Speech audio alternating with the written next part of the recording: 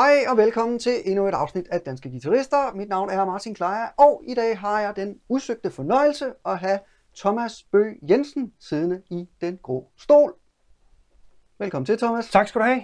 Tak skal du have, Martin. Øh, super dejligt, at du havde til lyst til at komme og lege med. Selvfølgelig. Det sætter jeg meget stor pris på. I lige måde.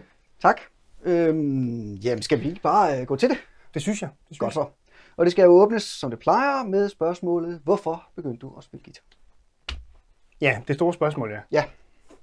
Jo, øh, vi tror, vi begynder tilbage, da jeg var en øh, 7-8 år gammel, hvor jeg øh, simpelthen øh, bliver vild med Aldi Meola. Ja. Øh, jeg ved ikke, om folk kender ham. Det gør de fleste nok. Det, ellers så må man øh, sætte sig ned og google. Så jeg sidder i min sofa og er de der 8 år gammel og siger til min far, øh, kan vi ikke høre den der med den sorte panda igen?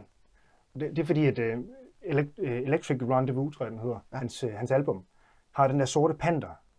Og så i titelnummeret, der er, der er sådan et brøl. Og det passer lige til sådan en 8 Ja. så med de vinende guitar og sådan noget, Ja. ikke? Fedt. Så, så sådan startede det, tænker jeg lidt. Og så ville jeg bare ønske, at min far havde øh, puttet mig i musikskole. Ja. jeg. Simpelthen bare. Ja. Han skal afsted. Ja. Men der gik lige nogle år endnu, før, før det skete. Og øh, hvad skete der så? Så var det fodbold og ting og sager. Og så fik jeg sådan en kammerat, øh, der hørte øh, metal. Mhm. Øh, sådan noget, det var jo black metal, altså det kunne ikke blive for vildt i hvert fald. Nej, okay. For hurtigt Nej. med det der. Han var trommeslager. Og øh, vi, øh, vi jammede en lille smule øh, på akustisk guitar. Øh, Ikke rigtig elgitar på det tidspunkt.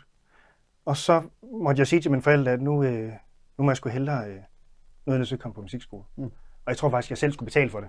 Okay, Men det gav også lidt ekstra øh, motivation, tænker ja. ja, det kan man sige. Øh, ja, og så øh, derudaf, øh, jeg tror, jeg blev tilmeldt elgitar faktisk, Mhm. mm-hmm. øh, på det tidspunkt. Og så øh, var der bare et eller andet med det der, jeg skulle spille blues og sådan noget. Mm. Det blev jo ikke rigtigt til det der, jeg gerne vil spille. Mm. Sådan er det jo for, for de fleste, tror jeg, Det at spille kunne det metal, godt ikke? Ja, ja. Ja. Og så, øh, det blues der, det var ikke så fedt. Øh, så, og med mine kammerater, der spillede jeg de her sådan, øh, det var sådan noget, øh,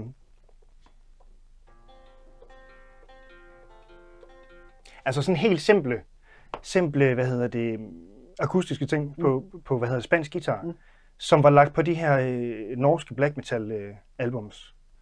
Og faktisk også en dansk, jeg så, øh, sådan lige hørte i dag, Blazing Eternity, det havde øh, over sorte heder, Mm. øh, til dem, der kan huske det.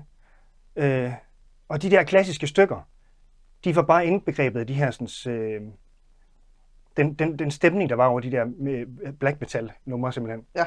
Som så, hvor, hvor det her stille og rolige øh, guitar, øh, akustiske guitarmusik blev, øh, øh, blev, blev transformeret til, til det hårdeste distortion lige efter. Ja. Samme melodi. Man har lige hørt melodien, Ja. og så bare fuld distortion på, Ja. og så bare det ud af. Fedt. Det var fedt. Ja. Så det sad vi og rodede lidt med, og så tænkte jeg, det er sgu meget sjovt det her, og øh, kunne man ikke komme lidt videre med det? Øh, måske lære nogle af de teknikker, fordi det var sgu lidt svært, når man bare sad med en Ja. kammerat, og han prøvede Ja. at vise en noget, og han var ikke guitarist heller ikke. Nej, okay. Så øh, start guitar, og så øh, spillede man de her øh, helt simple startmelodier. Lidt tostemmigt, og sådan burde jeg egentlig næsten vise på den der. Altså, det kan vi jo bare gøre jo. Det kunne, det det kunne jeg godt gøre. Hvis jeg nu gør sådan her. Jeg tager jeg. Ja, så får du den. Nu hiver jeg det her stik ud, som jeg på. Er det helt Det, gik, det, det gjorde det ikke. Det var heldigt.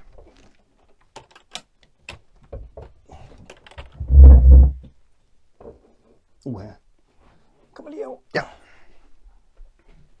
Ja, H. Jeg er stadig på, ja. Hov, Vil du lige uh, ledninger? Det vil jeg. Tak, Martin. Sådan der.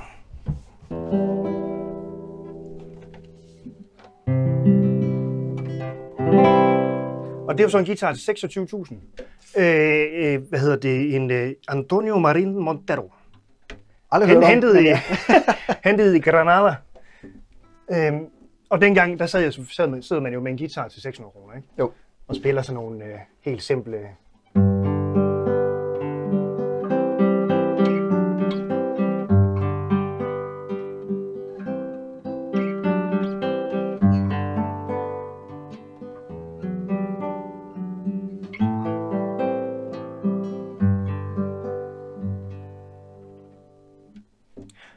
Og det var sgu egentlig meget fedt. Og så, øh, Jeg tror, det var nok lidt mere simpelt end det i virkeligheden, man startede med, ikke? Og så, øh, så spurgte jeg min lærer på et tidspunkt, er der ikke et eller andet, du kan lære mig, hvor jeg ligesom kan blære mig? og det kan jeg bare huske tydeligt. Fordi jeg synes, det var, det var fedt, og Ja. man skulle også lære fra starten af, men man ville også gerne have de her stykker. Ja. Så, og så lærte han mig den her klassikeren, som alle kender jo.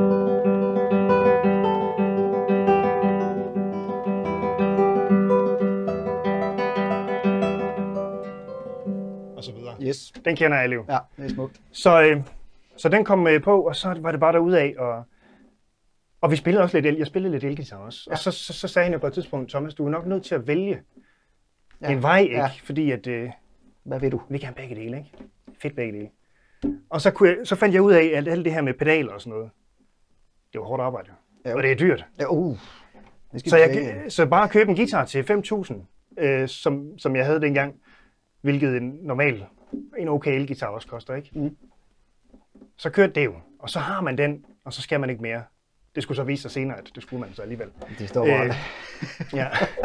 så, øh, så det var bare, øh, hvad hedder det, lære de der stykker, de klassiske stykker, og så øh, var der de her sådan, prøver på musikskolen, og talentlinje, og, og hvad det hed. Mhm.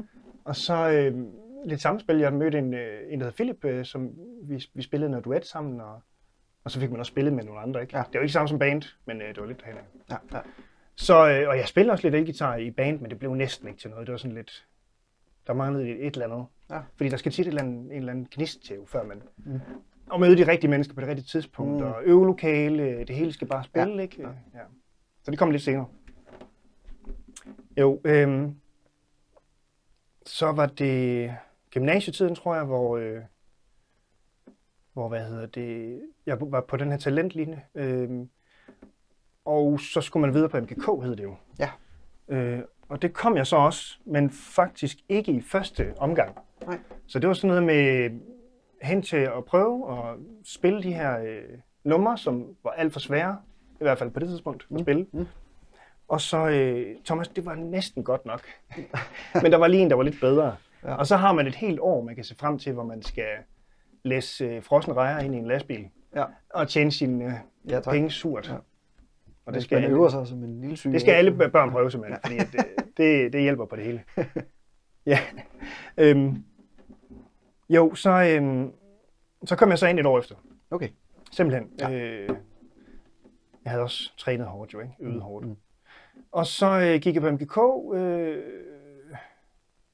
mødte alle de andre øh, musikanter og fandt ud af, at, øh, at øh, de var da også gode. Måske lidt for gode nogle gange. Så- Men det var også fedt jo. Ja. At møde, møde nogen, der var lige så betændte af, af guitarilden. Ja. Ja. Og om nogle gange, så kan man også øh, blive skubbet lidt, når man møder de her, som er som måske lige er en klasse eller to over en selv, ja. og må tænke, hmm, det skal jeg også kunne. Det er det, der, der skal et eller andet til der. Ja. Noget ekstra. Ja. ja. Og, øh, og det var sådan noget på musikskolen, der, jamen der kom man jo til, til team, og så øh, spillede man. Hvor så på MGK, så lærte man at komme måske lige en time før og sætte sig ind i et øh, øvelokale og lige Mm. varme op og sådan Mm. noget. Ikke? Så stille og roligt sniger den der, hvad hedder det, hvad skal man kalde det for? Men, altså man ved, hvad der skal til. Ja. Ikke? Det er ikke nok bare at komme til team fem minutter før. Og sådan noget, ikke? Ja, det var MGK, øh, og der, der går man normalt tre år. Og så var jeg heldig faktisk, at min lærer han tænkte, du er måske klar nok nu, efter her efter to år. Mm. Så øh, jeg kom til prøve i Esbjerg. Mest fordi der var en af mine kammerater faktisk, der, øh, der havde været derovre. Øh, Altså på konservatoriet? Ja, ja lige præcis. Ja. Konservatoriet i Esbjerg. Ja. Øh, hos øh, Jørgen Bjørslev. Meget old school fyr. Okay, Ja. kender ham ikke. Nej. nej, nej. Men øh, rigtig flink, øh, men pissehård, altså. Virkelig, Okay. virkelig hård. Det var sådan noget med... Jeg kan huske, jeg sad, sad og øvede op til eksamen øh, efter, det må være 5-6 år eller sådan noget, på konservatoriet der. Med min kammerat øh, Søren, øh, hvor vi skulle spille sådan en, øh, hvad hedder det, en kanon. Tre kanons, sådan noget lidt moderne øh, musik. Med sådan nogle virkelig underlige, altså, hvor man sidder og, og jeg spiller måske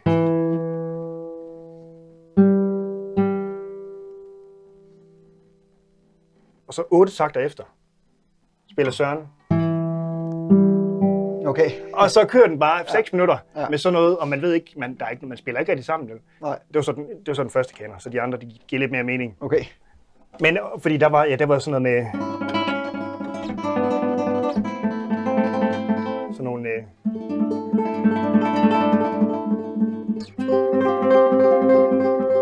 den anden guitar så spiller øh, cirka det samme indover. Mm. Og, øh, og jeg kunne bare ikke få det til at virke, det der, altså... altså Jamen Jørgen, det, jeg synes, øh, det er simpelthen... Jeg kan ikke få det til at funke, det her. Og så, øh, hvor han måtte sige til mig, jamen Thomas, du må lige... Øh, du må simpelthen sætte dig op øh, lige og tænke over, hvad, hvad du egentlig vil, altså, med det her. Hold. Sæt dig op i kantinen og tag dig en Okay. kaffe eller sådan noget. Ja. Der er bare sådan nogle punkter i ens liv, Mm. hvor man tænker, okay, man må lige være lidt prof, ikke? Altså. Jo. Og ikke sidde og klynke Nej. over sådan nogle ting. Nej, det går ikke. Åbenbart ikke. Så det var, ja, og sådan er det jo, når man møder folk på konservatoriet ja. og får ting at vide og sådan noget, ikke? Mm. Jo, det blev gjort færdigt, konservatoriet, og, Yes. og det var egentlig ikke fordi, lige tilbage til musikskolen faktisk, fordi det var ikke sådan, at jeg havde planer om, at jeg skulle være en stor koncertgitarrist, der skulle ud og spille øh, i hele verden og de fine steder og sådan noget. Det var faktisk, øh, jeg, jeg var vikar for min, øh, for min lærer, Leif Møller Lauritsen, på musikskolen der i Vejle. Mm. Og øh, man kan sige, øh, at prøve at sidde der med, med, en, med en masse elever, de kommer bare ind jo. 20 minutter, 20 minutter, Mm. 20 minutter, 20 minutter. Og så efter den første dag, kan jeg huske, hvor jeg var vikar for ham, så, øh, så tænkte jeg, det her, det er det mest geniale, man kan lave i sit liv. Man kan Okay. sidde og hygge og spille guitar, og Ja. måske lige få en kaffe, Ja. og så øh, snakke med de her børn og unge, Ja. der kommer ind. Så det var faktisk, øh, det var faktisk planen. No, plan, plan, plan nummer one, ikke? Altså at komme ind og, og blive guitarlærer, fordi Mm, mm. det skulle bare hyggeligt. Og så leve det. Ja. Men færdig med kons i hvert fald.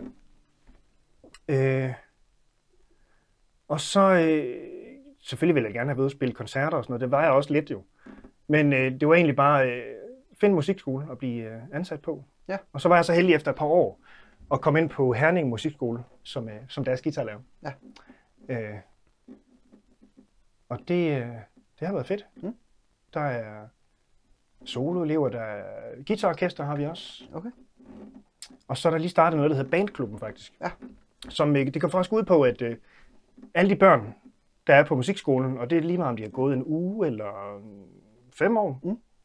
Øh, der er ligesom to aldersgrupper, sådan 9 til 12 og 12 til 15, tror jeg det er. At de mødes simpelthen øh, en time hver uge, og så har de øh, bandklub, Ja. bandklub, og så en halv time med fælles pause sammen med de andre bands, og så øh, er der et band mere bagefter. Mm. Så det, altså børn først, fælles pause, og så, øh, og så de unge. Ja. Fedt. Øh, ja. Øhm, det er så lige for nylig, det, at, det, at det er kommet. Så det har jeg også. Øh, det, er fedt. det er mega fedt. Ja. Er det. Øh, men vi skal også lige til ord, fordi det var der, at alt det her, pedaler og elgitar kom ind i billedet.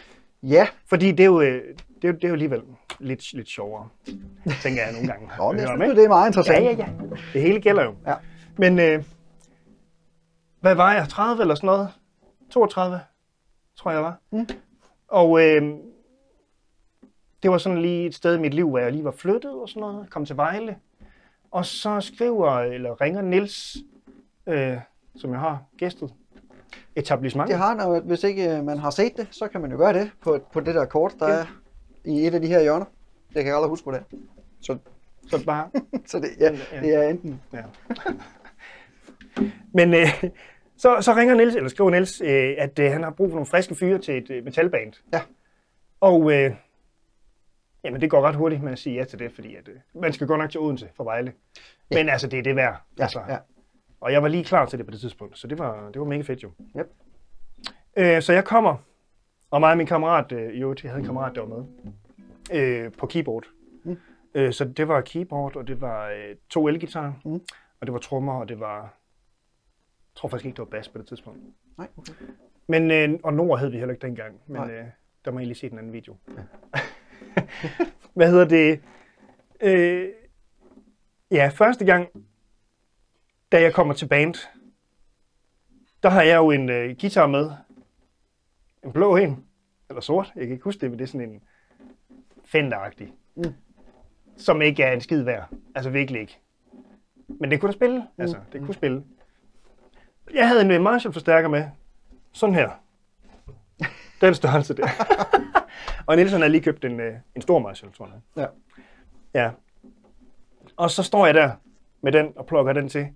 Og der begynder alt det her, det sjove så med, med pedalerne. Ja, ja. Stille og roligt at vokse ud derfra, fordi man kan godt se, okay, det går ikke. Men det er fint i starten, fordi ens ører, de er ikke vant til øh, at høre øh, alle de her effekter og, Nej. og høre, hvordan... Øh, altså, det tager noget tid. Nu har man vendt sig til den her... Hvordan skal en klassisk guitar lyde, ikke? Mm. Med, med alt, hvad der er.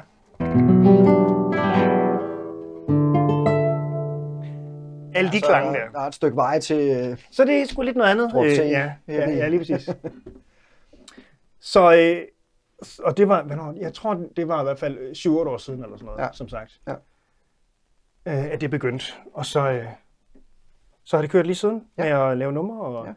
og det har mest været sådan, at Nils øh, har lavet øh, skabelonerne og, og ja, tekst, meget tekst også. Mm. Så grundriff og grundtrummer også tit, og, og så tekst, som sagt, Ja. er kommet hen ad vejen. Ikke? Ja.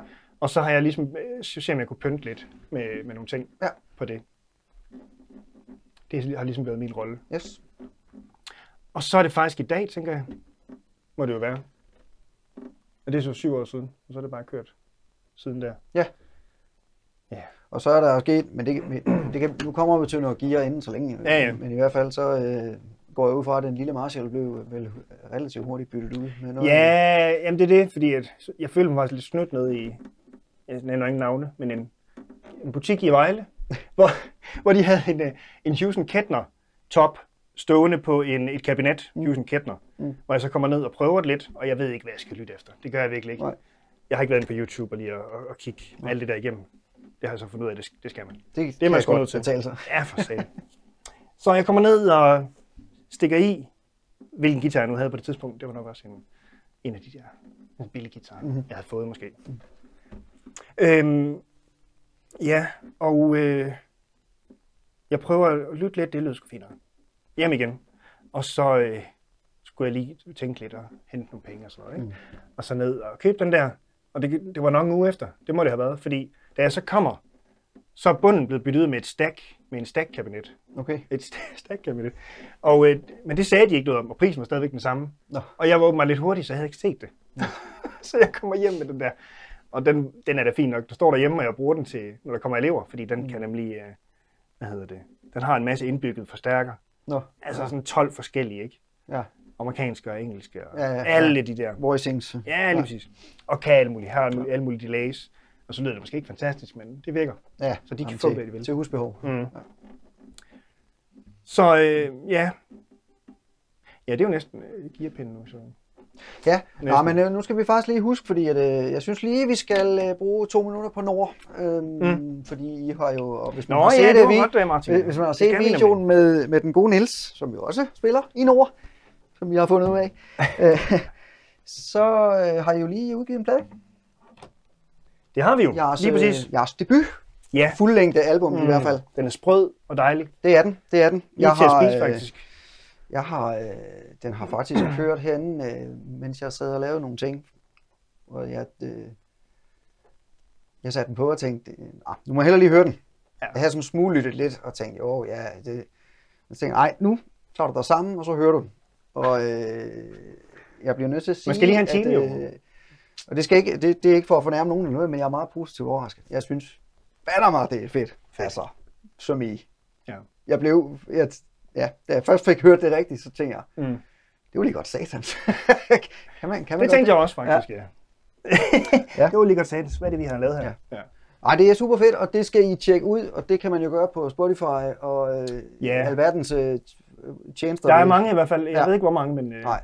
Nå, men der er, nogle, min, øh, faktisk. ja, der er nogle links hernede, man lige kan klikke på, hvis man vil, hvis man vil nørde lidt mere i. Og det skal I gøre, for det er fedt.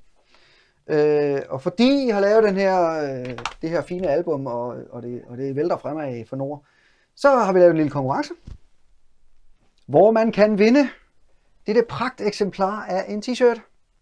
ja. Simpelthen. Simpelthen. Der er en der bagside. Det er der. Helt det, rød. Det er, det er Lidt super rød. cool. Yes. Og konceptet er sådan her, at øh, lige om lidt, så får I et spørgsmål, og det, det står du lige for. Det prøver jeg lige. Jeg har faktisk glemt det. Igen. Jeg skal nok. Ja, og du har styr på det. Ja. Øh, og så, øh, det, man får et øh, spørgsmål. Det kommer om to sekunder. Så skriver man svar på det spørgsmål nede i kommentarerne, og så på et eller andet tidspunkt, som øh, vi ikke på nuværende tidspunkt lige ved, hvornår er, fordi der er ikke nogen, der ved, hvornår den her video kommer ud. Men øh, det skal nok øh, stå nede i øh, kommentar eller i øh, beskrivelsen af alt det her. Men øh, så lodtrækker jeg en heldig vinder, der får tilsendt den her fine Nord t-shirt. Hvad er det så, man skal svare på? Jo, i titelnummeret Machine Blood, som er sidste nummer, foruden outroen selvfølgelig, der vil øh, på et tidspunkt en gang være et lille tema, mm-hmm. som man kan lytte efter. Og det tema skulle de fleste gerne kende, da det stammer fra en film. Men hvilken film er det så? Bum. Det er spørgsmålet. Det er spørgsmålet. Hvis du har lyst til at være med i konkurrencen om den her fine t-shirt, som øh, bliver sendt lige i lugt hjem til din postkasse, så øh, skriv dit svar nede i kommentarsporet.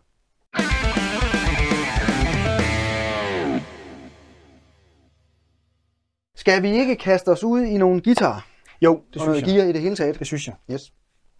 Og øh, hvor vil du gerne starte? Jeg tænker... Øh... Der er frit valg. Jo, er det sgu svært, du. Men jeg tænker, det bliver nok den her. Ja. Åh, oh, nu låser jeg den. Sådan der. Lige præcis. Sådan. Yes. Fortæl. Jo, øh, ja. Og jeg er jo ikke gearmand, men det er jo lidt nu alligevel. Ikke? Nu får du lige øh, den Ja, her, jeg får så lige- bliver, okay, det, tak. så bliver det lidt tørt. Og der var den. Hov, nu lige. Jo, jeg har en, øh, en Schecter her. Yep. Og øh, den er faktisk øh, erstattet en tidligere Schecter. Fordi det var faktisk sådan, at øh, den, den guitar, jeg havde for lige før sommerferien sidste år, det var faktisk den samme guitar, som Niels havde. Det, Okay. går, det går sgu ikke. At, øh, Det kan man ikke. to fra samme bands øh, har den samme guitar. Det er simpelthen Har man for, hørt med? for cringe. Det går ikke. Nej. Så jeg tænkte, nu, øh, nu åbner jeg lige og ser, hvad der, er- hvad der er i punkten. Mm. Og så kunne det blive til den her. Ja.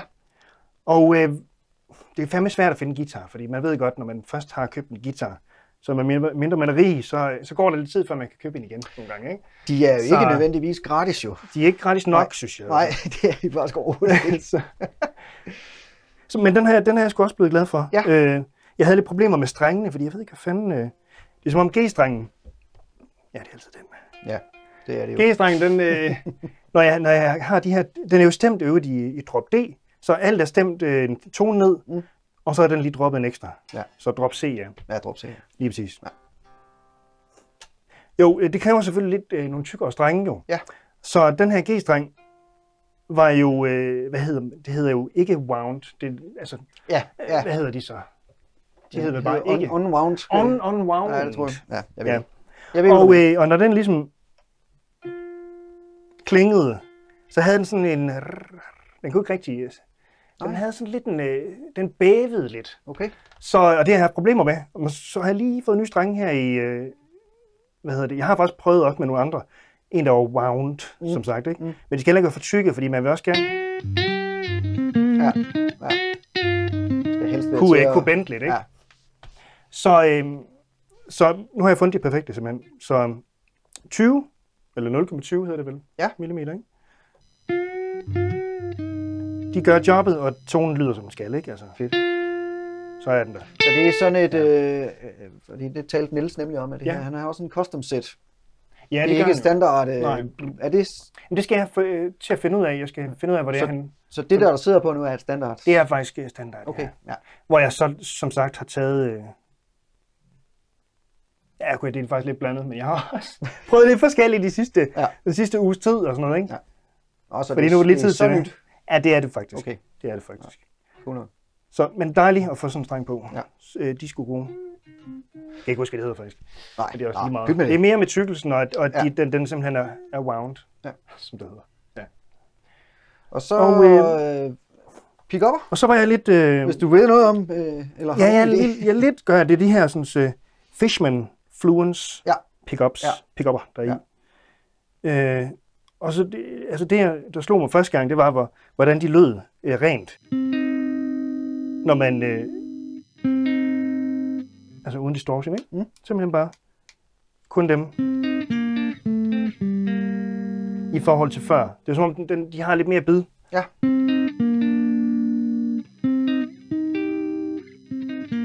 Og det er aktive pick up, ikke? Det er det nemlig. Ja. Ja, ja, ja lige præcis. Cool. Ja. Det er også helt det der øh, brugsystem dernede, det ser også... Øh, eller hvad? Jo, ja. Der Lettere, er- lettere high-tech ud. Ja, men det er også det, den er jo god at, at reste på her, ikke? Ja. når man skal... Ja, det er, det er ikke tremolo, Ja. altså det, det kan ikke øh, flytte sig, vel? det kan det ikke, nej. Nej. Det er nej. ikke sådan noget. Nej. De går igennem der, Nå, de går, ja. jo et. Yes. Ja. Og neck through, kan Men jeg den se. er... Ja, ja, ja. Ja. Den er rimelig lækker. Ja, den er fed. Og ja, i øvrigt, øh, det er jo ham her, Keith Marrow, øh, Mark 2, tror jeg, den hedder, faktisk. Hvis ja. Ja. den skal have det hele, hele navnet, ikke? Så sådan en, øh, hvad kalder man det? Det kalder man vel en... Øh, er det custom, man kalder det? Signatur. Nå, signatur. Ja. Ja. Tak, Martin. Ja, selv tak. Signatur er Ja. signaturmodel, ja. Ja, ja, ja. Og det er ikke, fordi jeg kender ham specielt godt. Men den her guitar havde bare ligesom de ting, som... Øh, Ja. Den havde Jeff Fishman, som jeg gerne vil prøve i hvert fald. Ja. Og så har den øh, de her glow in the dark. Ah, Nogle, Cool. som jeg, det har ikke været mørkt nok endnu. Nej. Men, øh, det kan det og det blive. er det heller ikke her i hvert fald. Nej, Så, nej. Fedt. Skal vi lige? Nej, ja, det tør jeg ikke. det kan godt forstå. Så øh, ja, er der mere, er der mere, er der mere? Og så det, har den, øh, Ja, øh, men der skal vi næsten... fortæl. Er der lyd på, tror du?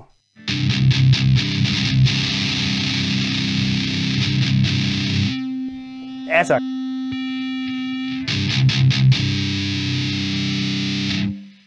Det kan være, at jeg bare skulle spille den eller andet.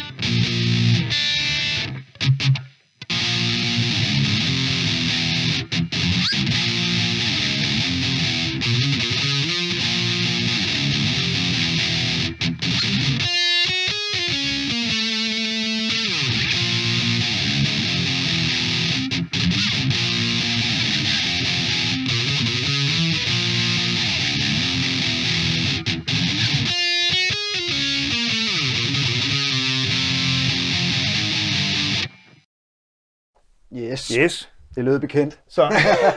Åh oh, ja. Ja, fedt. Ja. Ja, ah, der er jævnt meget drøn i den der. Ja, der er rimelig meget. Ja. Ja, det synes jeg også.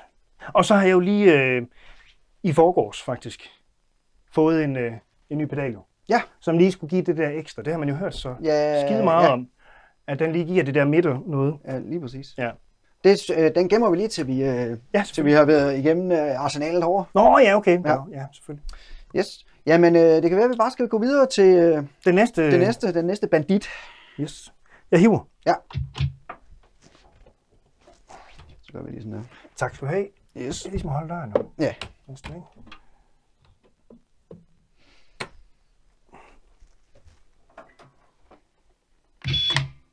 Sådan skal jeg det sige. Sådan nu. Ja, en Ibanez. Yes, sir. Ibanez. Ibanez. Skal lige stå af, tror jeg. Ja, ja.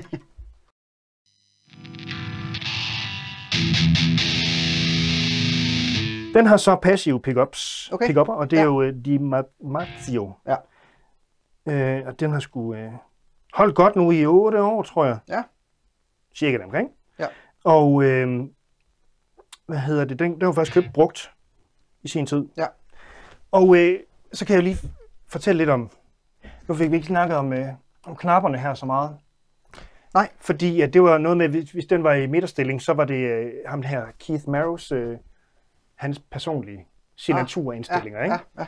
Smart. Og så var der selvfølgelig de andre, altså mm. en øh, single coil og sådan noget. Ja. hvis man ville det. Ja, så I kan splittes. øh, Ja, splittes, ja, ja. lige præcis. Og så den her, jamen det er jo egentlig bare øh, volumen, og så har vi øh, tonen dernede. Yes. Og det mangler den guitar. Den har ikke nogen tone. Nej, øh, nej, det Øh, glemte jeg faktisk at, ja. spørge om. Jamen, jeg kunne næsten regne ud, det var Og en det, volumen, men jamen det er ja. det, fordi at, øh, den savner jeg da godt nok. Ja. Kunne jeg mærke. Når man nu, øh, skal jeg se, nu står den på, hvad hedder det, Ibanez kun.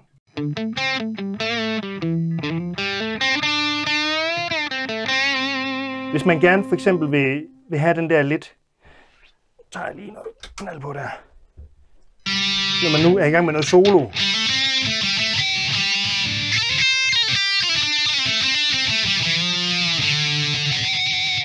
Og så gerne vil have den lidt blødere. Mm. Måske med lidt... Okay, det venter vi lige med. Ja. og, så, og så den der toning.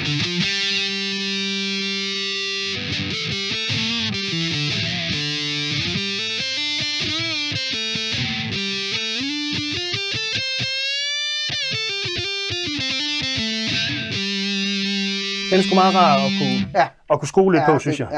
Ja, Den er, det er ikke så dumt, faktisk.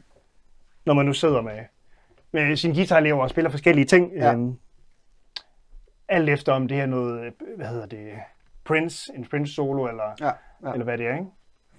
ja men uh, absolut. Men, det, er, det er... Øh, Men der har den så den her øh, knap, der kan skrues på. Eller netop ikke skrues på, men, men klikkes på. Ja. Men så mangler man bare de der detaljer der. Hvor ja, fanger den? ja, det er sådan mere enten heller, ikke? ja, lige præcis. Ja. Ja. Ja, cool nok. Så, men det er så arbejdsgitaren, den som, øh, som jeg bruger, når jeg har elever. Ja. Og øh, skal spille øh, ting, der ikke er stemt ned. Ja. Og det er jo også en god grund til at have flere guitarer, ikke? Altså, Det kan man sige. når man, kan øh, man sige. ja. Nå, så den er i standard? Den er standard, ja. ja.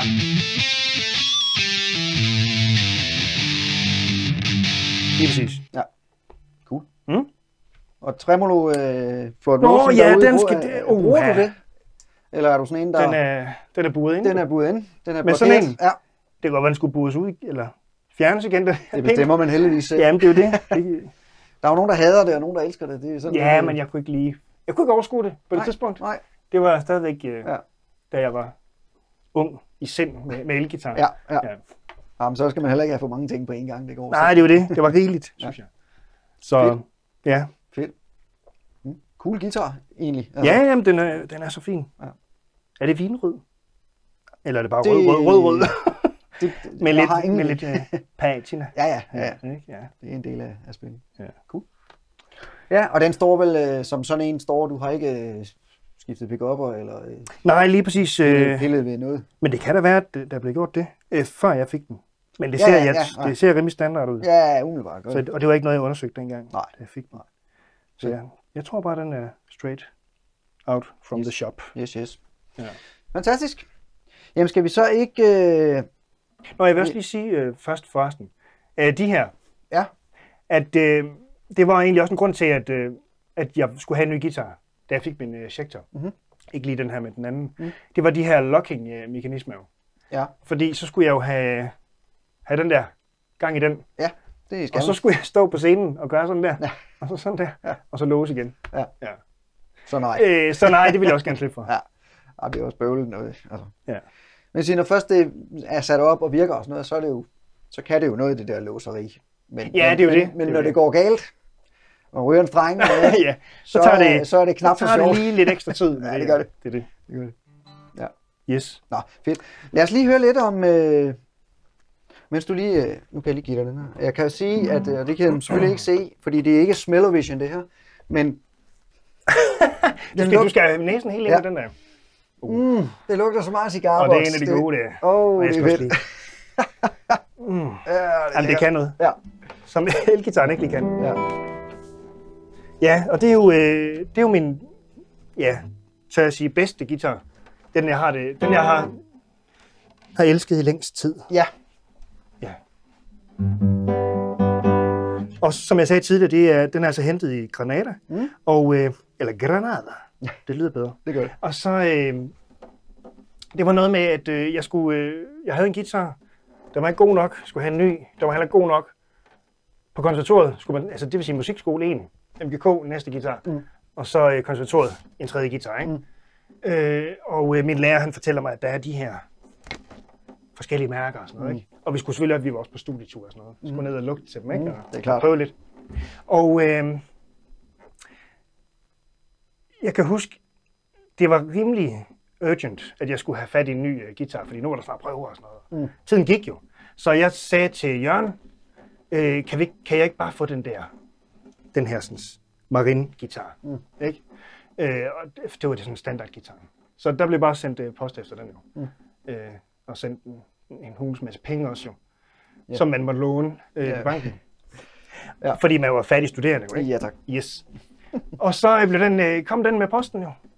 Ned og hente den, og, og så lige i starten, så skal man jo skulle lige vende sig til den, og skal, den skal også spilles til, jo, mm. altså træet, ikke? Jo. Der er bare det satans ved de her, de her guitarer, at for at sige noget, så dur det jo ikke med den her sådan kæmpe tyk lak. Nej. Så derfor Ja. ser den jo sådan her ud, ikke? Ja, det bliver slidt. Fordi det en gang imellem, der vil man jo. Der vil man jo komme til at ramme der, ikke? Så, så det er number one øh, klassisk guitar, Ja. den her. Har du sådan hele arsenal derhjemme af guitar? Eller? Jeg har nok, øh, hvad har jeg? af de spanske.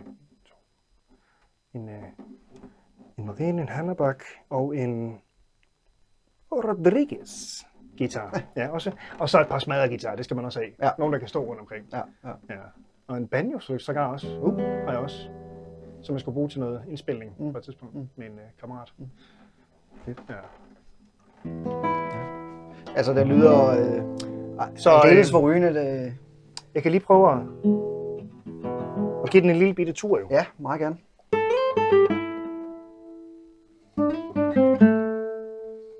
Yes. Med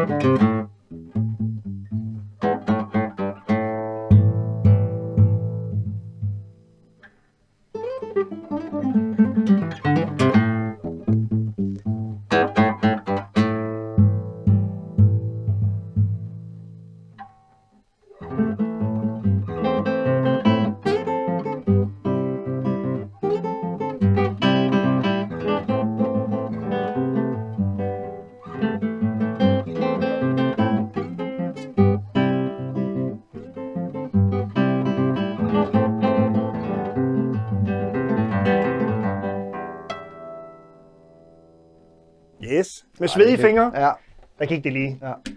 Ja, men jeg har Så, sagt, ja. øh, jeg har jo haft besøg af, af nogle andre i hulen her, som også øh, som, som udelukkende spillede. Ja, var det, det var west, lidt western, øh, eller var det også spansk, øh, altså Nej, nylonstreng? nej, det var stålstreng. Ja. Ja. Øh, og jeg bliver lige imponeret hver gang, fordi jeg er selv altså håbløs til akustisk. Jeg kan, jeg, jeg kan slet ikke finde ud af det. Det, er- Jamen, det er også det hårdt at holde begge ting kørende, vil jeg sige. Ja, men det, Altså, både- det, er- det er helt vildt. Jeg kan slet ikke...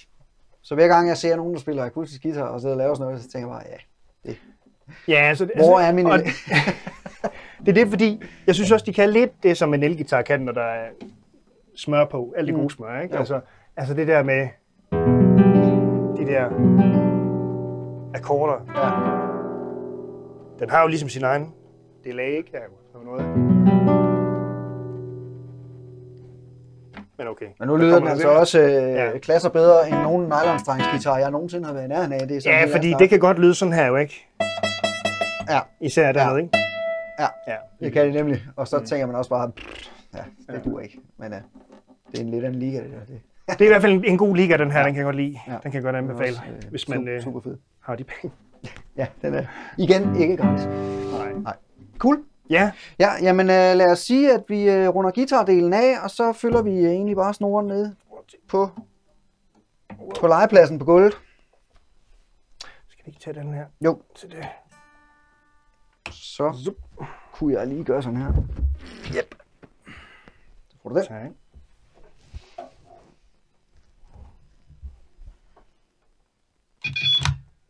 Åh oh, ja. Sådan skal det sige.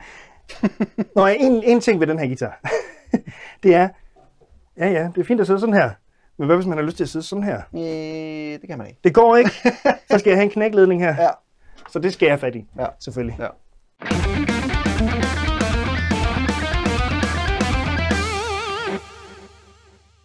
Ja, skal Ja, vi... Øh... ja lad os øh, løbe det igennem.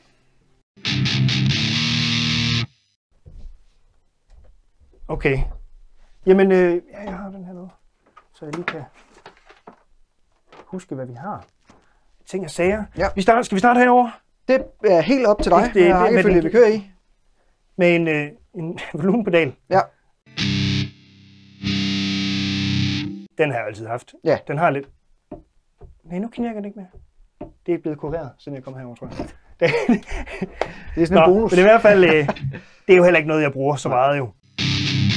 Fordi jeg plejer tit bare at lave den der jo. Ja, ja. Ikke? Men den sidder, den sidder sidst i hele kæden. Der, Den sidder til sidst, ja. Ja. Og jeg ved ikke, om jeg gør det 100% rigtigt, men det tror jeg, for det virker da meget godt. Det, jo, det gør den, fordi det, snoren kommer ud her og går. Ja. Så det må den gøre. Nå, en anden ting ved den her guitar også, det er de der volumen... Øh, altså på min Ibanez, der er den ret hård, den her. Så der kan man ikke... Nej. Der skal man... Ja, okay. Ja. ja. Så det er jo også øh, en af de forskelle, der kan Ja. være på guitar, ikke? Ja. Men øh, jo, så har vi selvfølgelig... Øh, hvad hedder den? Den hedder Noise Suppressor. Det gør den. Kan man godt høre. Det er uden. Det er med. Så den virker også meget godt. Den er dejlig. Ja, det den er også. Når man har de, sådan, øh, de der, sådan, hvad har vi? Ligesom øh, det riff, jeg spillede før. Ja. Så skulle det gerne. Ja, så skal der være... Så skal er den også, bare øh, tige stille. Den var jeg glad. Ja. Er glad for. Den, ja. den dag, jeg fik den, der var jeg Det var en rigtig god glad. dag. Ja, det var faktisk en god dag. Man ikke tro, at det med at fjerne noget, at det kan være så godt. Nej, nej, det er sådan en, det er lidt sådan en pedal, som, som man bruger en masse penge på, som man har lidt fornemmelsen af, men den kan ikke noget. Den kan jo ikke Den siger jo ikke noget. Fanden, altså. Den siger netop ikke noget. Nej. Nå, ja. Men øh, ja, god pedal, ja. Ja.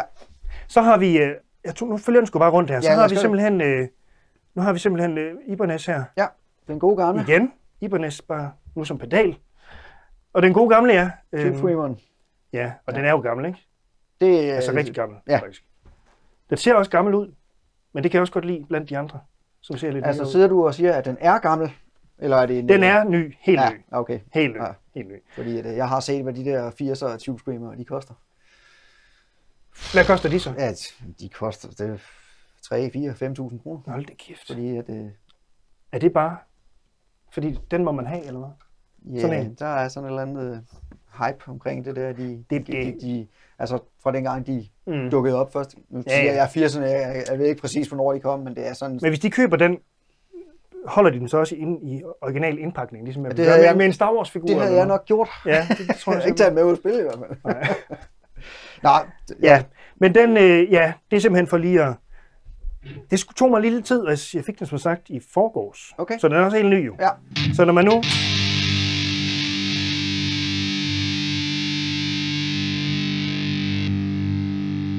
Godt, man kan godt høre, den lige giver det. Ja. Det tog mig lidt tid at fange den. Ja.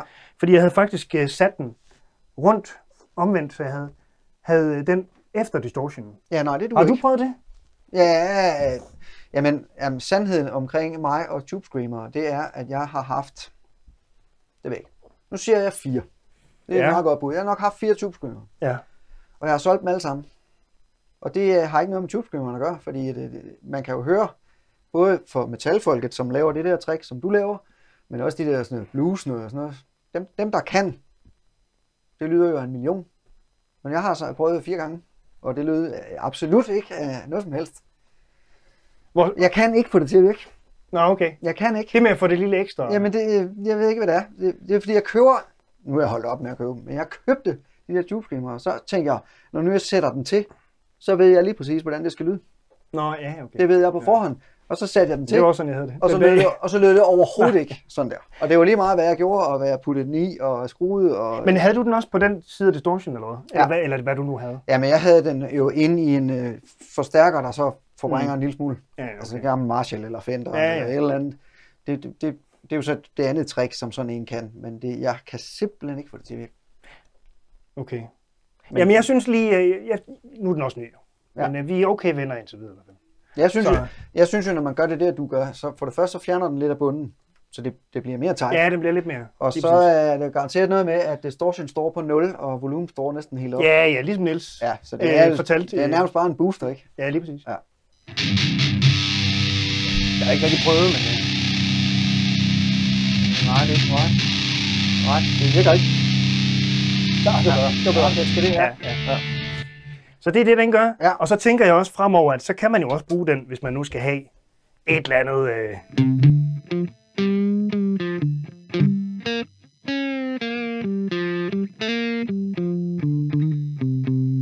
Altså en eller anden sammenhæng, hvor man står og skal Ja. spille en eller anden solo, og så skal der selvfølgelig lidt mere knald på, ikke? Ja, Ja, ja, øh, så, det- så kunne man også bruge den, fordi at, ja, til, sagtens. til lidt, øh, Yes. lidt udover. Og så, øh, ja, hvad, hvad skal vi tage? Hvad skal vi tage? Jamen lad os bare Skal vi- følge, øh, kan vi følge, øh, Ja, vi følger, snoren? vi følger, vi tager den blå nu. Harmonisten. Mm. Og det er jo den, der er sjovest, tror jeg. Eller kan flest ting i hvert fald, ikke? flest ting, som er interessante. Så jeg tror, vi starter, der starter vi skulle lige der ved den enhed, når det hedder S-band. Det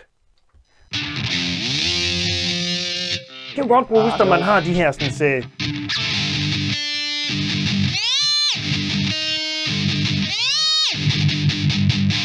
sådan nogle ting der. Ja, ja. Der er den sgu meget god. Ja. Og man kan også godt bruge den lidt i... Øh... Ja. Men der er ja. Ja. På en god dag lyder det Ja, godt, og på en ja. dårlig dag, der lyder det bare underligt. Ja. Som Chewbacca eller sådan noget, der har spist for meget. Ah, Ja. præcis. Fedt. Ej, den er sjov. Yes. Og hvad kan den mere? Den har, så har vi D-Tune. Kender du den også? Af navn. pedalen? Ja, altså Ja, D-tune jeg har set, øh, øh, som, som effekt. jeg har set, jeg har set den før, men jeg har aldrig prøvet den, eller, eller egentlig sådan, Nå, okay. sådan hørt den. Det er meget sjovt. Men den er simpelthen, øh, altså det er, jo, ja, det er jo egentlig bare, det er jo S-bend, D-tune, og så er det jo pitch shifter, Ja. som er lidt ligesom ham, harmoni, øh, Ja. ja. The Harmonist øh, ideen, ikke? Jo. Så for eksempel har jeg et nummer, det er faktisk det eneste nummer, jeg bruger den på lige nu. Der skal lige lidt grød på der. Mm. Så øh, harmonist på D-tune, og så, så den der, og så noget delay. Mm.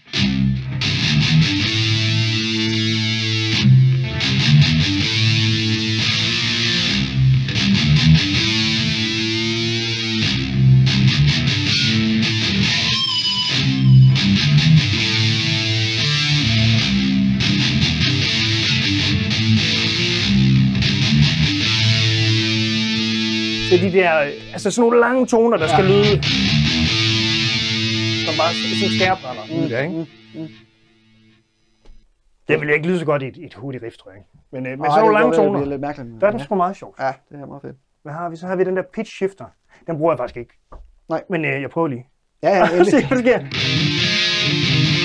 Jeg tror bare, det er noget med nogle tertser, faktisk. Det kunne godt lyde sådan. Og, og, og hvad der ellers er. Sexter og... Og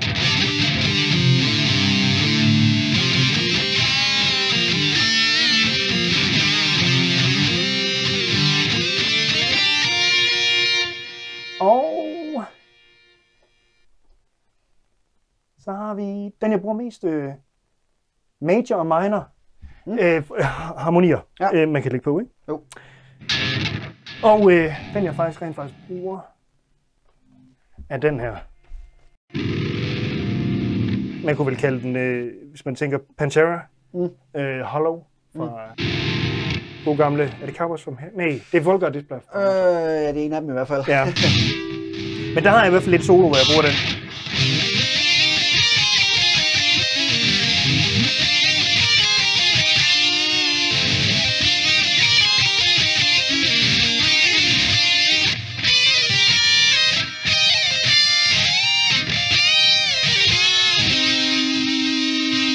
Og der skal man virkelig passe på, fordi at når man... Øh,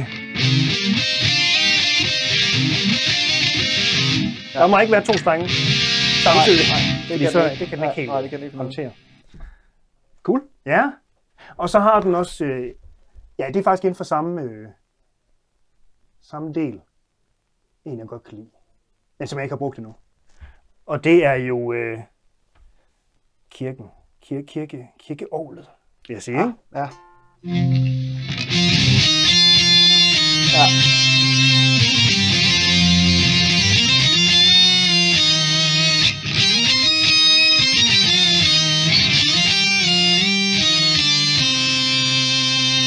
Yes. Den tror jeg, altså er det, ikke, den kald, det, det er et bestemt nummer, der kalder på den. Ja, tænker jeg, det så, øh, ikke, det har ikke Og det ikke det hele, man sådan lige kylder ind i. Men når det passer sig, Ja. når det bliver sunget i kirke i en eller anden sammenhæng, Ja, præcis. så, øh, Så skal den være der. Ja. Nå, jeg slukker lige for den der igen. Og den der. Yes. Og så når vi hen til den, ja nu har jeg allerede spillet lidt på den jo.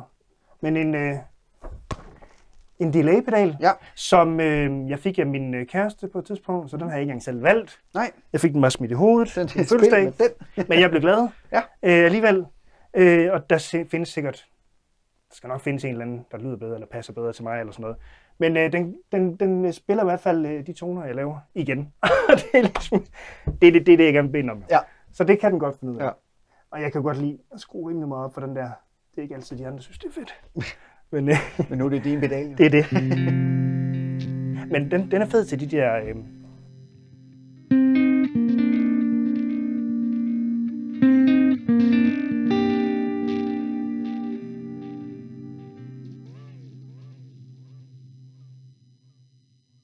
Og så er det også lige her, ikke? Hvad passer bedst til? Ja.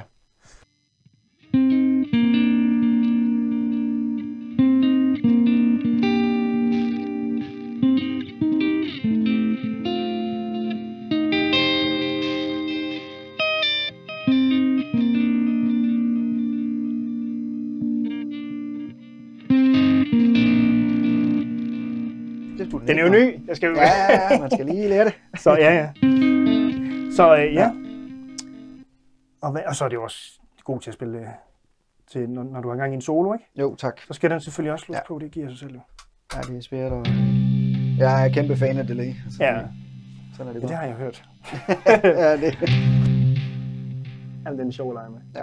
Også bare, og man tænker tit, skal jeg ikke bare gå ned i kælderen, hvor, hvor mine ting står i øvrigt, i mit hus, Mhm. og bare skrue helt op, og så bare sidde og...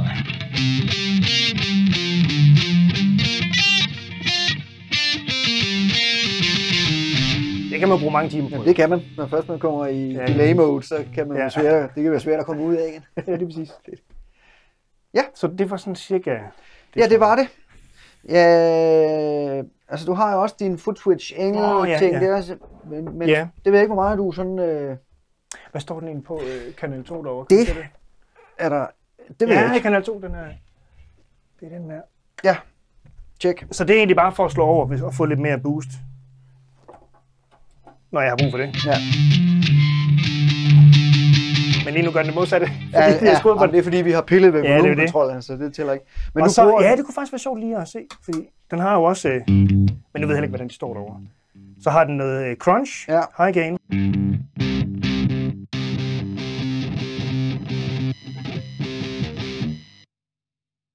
Ja, den er så slukket. Ja. Og så har vi noget øh, kontur, øh, reverb her, som jeg ikke rigtig har fået brugt, så det er, jeg bruger den ikke så meget, kun Nej. lige til den her sådan, øh, Ja. boost Ja. på kanal 2. Ja.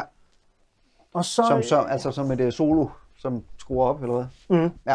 Ja, lige præcis. Ja, cool. Som lige giver den lidt ekstra. Og det har jeg også på min, volu, eller min øh, delay, så øh, når jeg tænder den, så står level også lidt højere. Okay, Så man har sådan forskellige ja, chancer for at booste. lidt, øh, lidt mere. Mm. Jamen det bringer os jo egentlig øh, meget fint over til selve forstærkeren, som gemmer sig heromme bag ved mig. Man kan måske lige, hvis jeg lige læner mig sådan lidt elegant tilbage her, se at der Ja. står øh, engel. Hvilken, jo, ja. hvilken engel er det, vi er ude i her? Nå ja, Powerball Yes, sir. hedder den jo. Ja. Engel. Powerball. Ja, tak. Deutsch. Jawohl! Jawohl. Og øh, ja, det er, det er jo metal forstærker. Ja, det kan man man godt sige. se med Ja, det der. Ja, ja, ja. Altså de rør, de får ikke lov at komme ud i hvert fald. Øh, nej. de er lukket pænt meget inde. Der. Ja. Ja. I forhold til, Ja. til Nilses, som jo øh, som har en, den der Houston Kettner. Ja, der var plexi. Hvor der var glas, ikke? Ja, ja, ja. Men så desværre. Det ser lidt mere metal ud, det, hvis det endelig skal. Ja. Men ja, det, det er også det næste. Jeg skal måske kigge på noget nyt. Ikke lige nu, men Ja. der er jo altid et eller andet sted Ja, ja, men i, prøv- i chain, ikke? Men, Det står bare lidt. Mm. Og så er det jo, øh, kan jeg sige, for nørderiets skyld, ligesom det plejer at være herinde i hulen, at øh, der er jo ikke noget kabinet, som I nok kan se. Så han går øh, i sur reactive load, står herovre bagved. Og så, yes, Yes. og så impulse response Ja. i computeren, og så lyder det cirka sådan der, som I kan høre. Men når du nu, øh, når du nu øh, ikke er her, kan man sige, når du nu spiller live, øh, hvad står der så nede under? Jamen, så står der en uh, tilhørende enkelt uh, kabinet med, med fire uh, toller, Ja. som jeg ikke kan navnet på, Nej, faktisk. hvis jeg siger Vintage 30, kunne det være det? Det kunne det nok godt. Ja. Må Jeg ved ikke, jeg er ikke eks- ekspert i enkelkabinetter, men det er jo lidt en klassiker inden for, for genren, Ja. ja. de der Vintage Ja, det er 30 det. fra Celestine. Tjek. Super. Jamen så har vi været øh, hele gearland rundt, kan man sige, fra nogle øh, cool guitar og pedalboard og over i engel og en højtaler. Ja. Og det bringer os frem til øh, næste pind, som er øh, signaturpinden. Ja. Og vi har jo, øh, vi talte lige lidt om det. Mm. Det siger jeg hver gang det her. Vi talte lidt om det på forhånd, fordi Ja, det, at det er jo sådan lidt en, øh, en, en, en snegl, det der. Men i hvert fald, så... det er en skal- god snegl, synes jeg. Det er en god snegl. Altså, Der, øh, det er altid det mest spændende, nærmest jo. nogle gange, At ja. se, hvad folk de ligesom... Spørgsmålet er i hvert fald, øh, Thomas, hvad er din signatur på guitar? Jo, det tænkte jeg over. Og jeg tænkte, nu må jeg heller lige... Det er jo noget med det der klassiske, tænker jeg, hvor man... Øh, hvor man, hvor man bruger det lidt en, Ja. en gang imellem. Ja. Så tænker jeg, det kunne godt være lidt signaturen for mig, måske. Mm-hmm. Så det vil jeg lige prøve. Det giver god mening i hvert fald. Ja. Ja, og det skal også siges, den her klassiske, den har også, øh, den har jo indspillet øh, intro og outro til, til ja, albumet, på, faktisk. ja, ja. Ja, men lige så snart du begynder at spille... På en iPad. Ja, det siger vi. Ja. Fedt. Altså med mikrofon, selvfølgelig. Ja, jo, jo, Ikke, ikke, øh, ja, ja. ikke iPadens mikrofon, Nej. trods alt. Oh.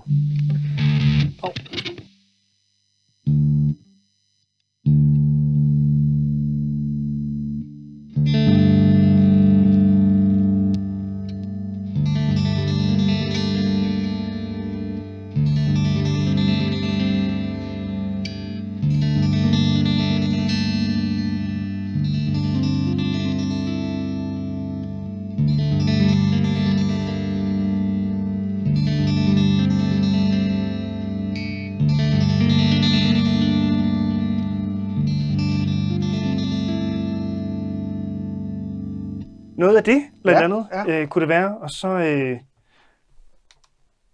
Kan du sende no- nogle ord på, hvad det, hvad det er? ja, det kan jeg godt, fordi at, øh, det er sådan lidt stjålet fra et, øh, et Leo Brauer stykke for klassisk guitar, Okay.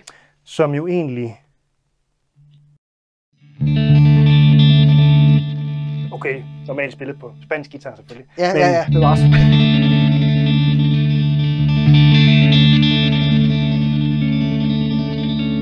Og så bare tage, tage, tage det og simpelthen... Øh... Fordi det er jo det, man gør, ikke? Altså, man, øh, Ja, hører ja, jo noget, man- lidt man låner lidt hister her, det lige må man præcis. Så det, ja, det er jo bare en teknik, Ja. ikke? Man, øh, man tager. Og så hvis man skulle sige noget mere, så det billige trick, det er jo selvfølgelig også, øh, hvad hedder det, tapping. Mm. Så det, jeg synes, det er mega sjovt at lave de her sådan, øh, figurer. Blandt andet den her til det, det nye nummer, vi har gang i.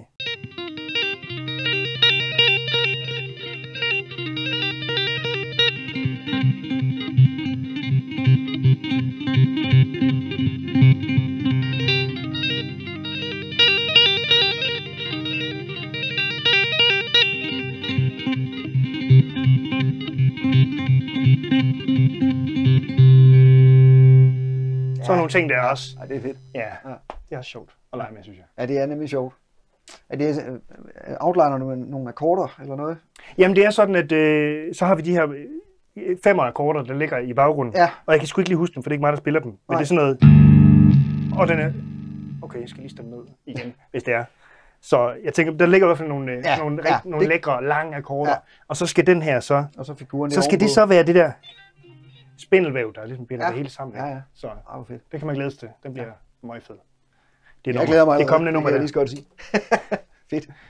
Ja. Cool. ja. Jamen det synes jeg egentlig svarer øh, ganske glimrende på, øh, på signaturpinden, øh, for, altså fra din klassiske baggrund, og så hive Ja, ja, det med over på, øh, på, på el og putte det ind i metal og sådan noget. Det, øh, Det, det synes jeg godt, man kan fornemme, hvis man hører den der plade der. Nu, nu skamroser jeg den lige en Ja. til, men jeg synes, det er virkelig fedt. Fedt. Det, det, det kommer ud, det der. Det er cool. Fantastisk. jamen, øh, det var fedt at være her. Ja, Meget vi, skal, Meget vi varmt. må hellere afslutte med manerer, fordi øh, det, vi, vi, det skal gøres ordentligt, som man siger. Ja. Ikke? Så øh, Thomas, det har været en kæmpe fornøjelse at have dig på besøg. Øh, det var hyggeligt at være her. Det var jeg glad for Meget at høre. Jeg synes, øh, Kaffe og det hele. ja, men Jamen altså. der er ikke sparet på noget som helst.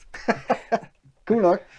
Yes, jeg håber også, at jer derude, der har kigget med, synes, at det måske har været hyggeligt, eller spændende, eller lærerigt, eller øh, Husk nu, husk, at man kan vinde en Nord t-shirt. husk det. Og så øh, i den forbindelse skrive, ja, man skulle skrive kommentarerne, og så kan man jo øh, like og subscribe og alle de der ting. Så bliver jeg i hvert fald glad, og det er med til at drive øh, kanalen lidt fremad, hvis der er flere af jer, der gider at, at være med i hulen. Så det håber jeg på. Ellers er der ikke så meget andet end at sige tak for den her gang, og jeg håber, vi ses næste gang. Hej!